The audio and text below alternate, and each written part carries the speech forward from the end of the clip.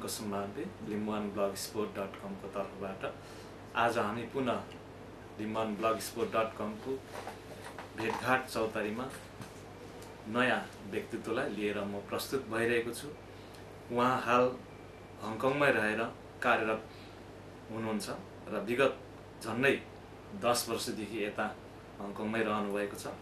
उहाँ हुनुहुन्छ लिम्बुवान राष्ट्रिय मोर्चा नेपालका अध्यक्ष।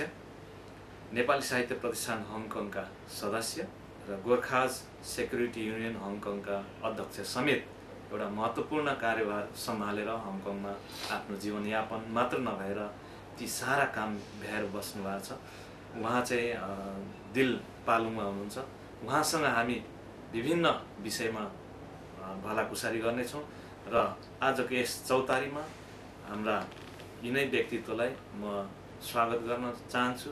दिल पालुङाजी म आजको यस चौतारीमा म स्वागत गर्न चाहन्छु।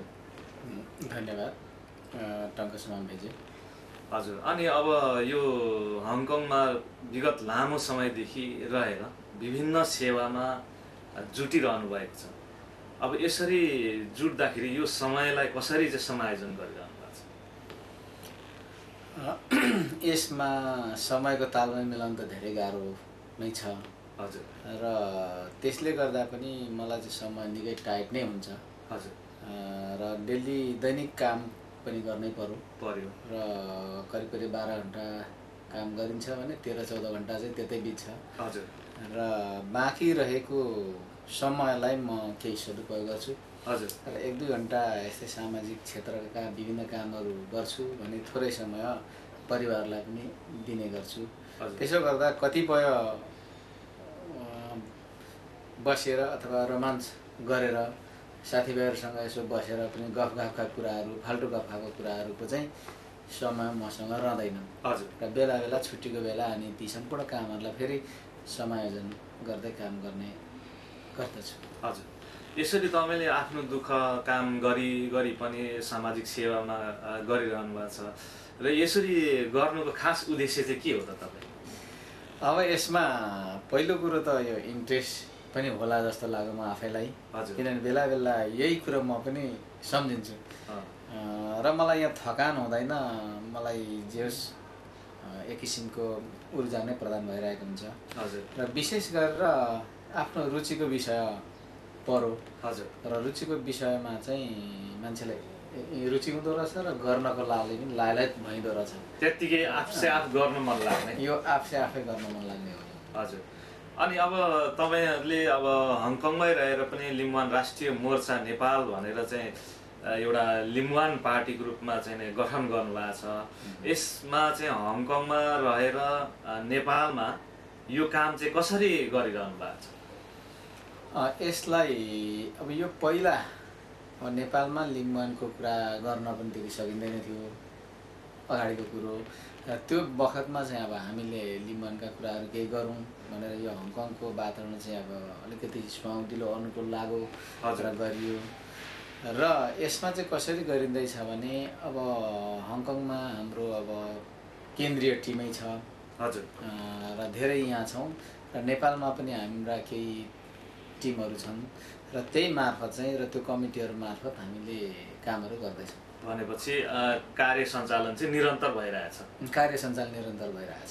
अनि तपाईँ आफै पनि एकपटक अ, लिम्बुवानको विषयमा दबाब गर्नको लागि नेपालको नेपाली सरकार नेपाल सरकारसँग पनि तपाईँले भेटघाट गर्ने भनेर जानुभयो।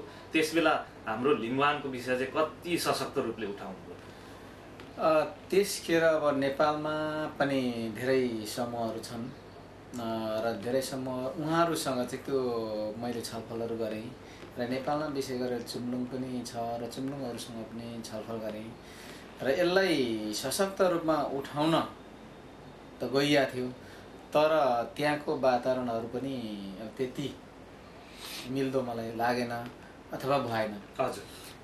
र किनभने अब हेर्दा र भन्दा मात्रै सशक्त तर त्यो गर्दाखेरि भने त्यो हाम्रो नेपालमा अन्य दलहरू लिम्बन सँग मिल्नुपर्ने। र उनीहरूले पनि कहिलेकाहीँ दिइरहेको हुने र हामीले पनि त्यो दिँदाखेरि उस्तै उस्तै हुने हुँदा अझै हामीले चाहिँ मिलाएर सशक्त ढङ्गले जानुपर्छ भनेर चाहिँ अन्य लिम्बनवादी सङ्गठनहरूसँग चाहिँ छलफल गरेर कामहरू गरियो। हजुर। भनेपछि जोस कार्यगत एकता जस्तोको रूपमा अगाडि बढ्नु हो। अँ हामी कार्यगत एकताको रूपमा अगाडि बढियो र अझै पनि त्यही हिसाबले चलिरहेछ। चलिरहेछ।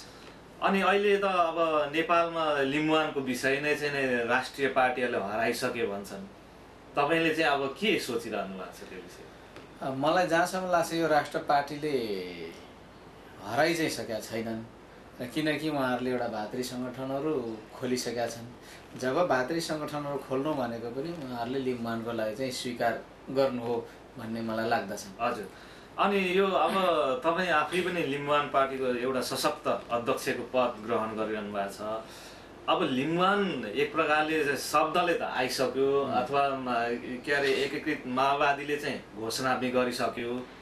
अनि तपाईँलाई के लिम्बुवान आइसक्यो जस्तो लाग्छ? मलाई लिम्बुवान आइसक्यो भन्ने चाहिँ अब लाग्दैन। हजुर। हुन चाहिँ अझै पनि यहाँ धेरै चलखेलाहरू भइरहेछन् यो राष्ट्र पार्टीको जुन अघि तपाईँले पनि कुराकानी गर्नुभयो। र कतिपय राष्ट्र पार्टीहरूले चाहिँ देखावटीको रूपमा र लिम्बूहरूलाई अल्मल्याउनुको रूपमा पनि गरे जस्तो हुन्छ। हुन त माओवादीले त अब स्पष्टसँगले भनिसकेको छ र घोषणा पनि गरिसक्यो। हजुर। त्यसो गर्दा उसमा चाहिँ त्यति शङ्का गर्नुपर्ने ठाउँ छैन। अन्यहरूमा चाहिँ अलिकति शङ्का गर्नुपर्ने ठाउँ छ। र त्यसो हुँदा यहाँनिर लिम्बुवानको आवाज उठाउनेहरूको मत चाहिँ धेरै नै छ। तर संविधानमा नलेखिकन चाहिँ आइसक्यो भन्न चाहिँ म सक्दिनँ र लेखिनु नै पर्छ अनि मात्रै विश्वास गर्न सक्छु। त्यसको लागि चाहिँ बढी दबावै चाहिन्छ।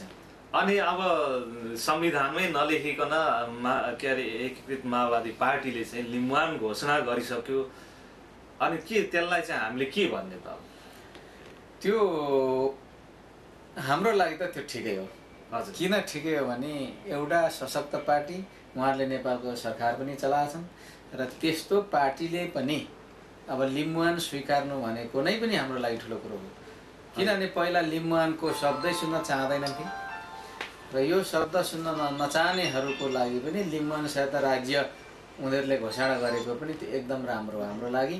यो एउटा ऐतिहासिक रूपमा पनि यो महत्त्वपूर्ण हो। हजुर।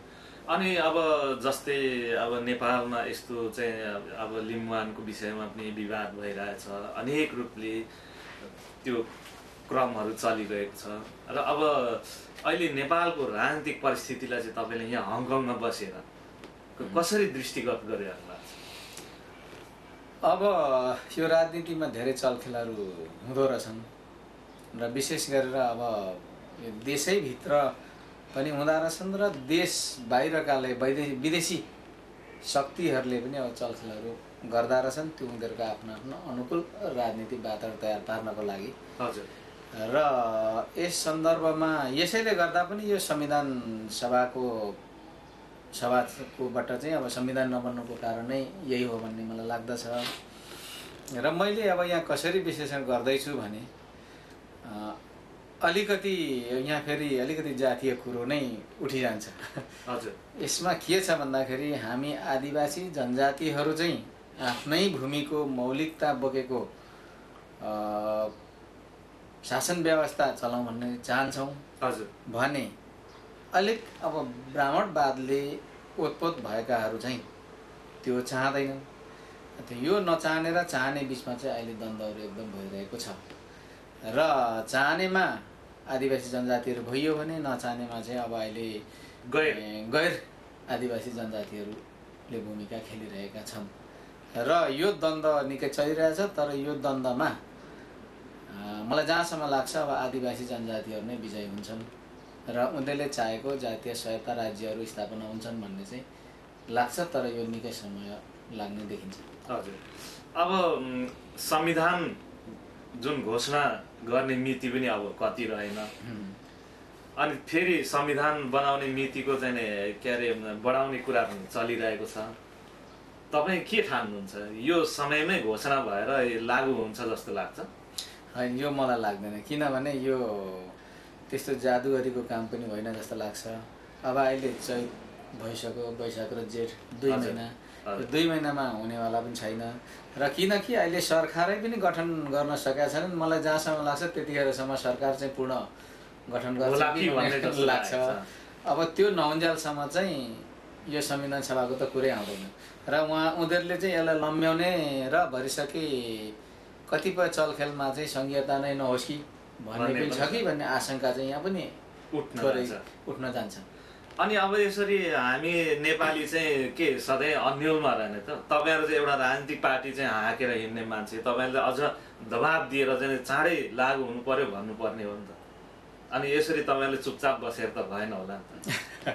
होइन हामी चुपचाप चाहिँ बसेका छैनौँ। हामी आफ्नै हिसाबले पनि दबाब चाहिँ दिइरहेछौँ। अब हुनुपर्छ। भन्नेसम्म दबाब हो। हजुर। अब हामी जस्तै अब लिम्बनवादी पार्टीहरूले पनि दबाबहरू दिइरहेछन्।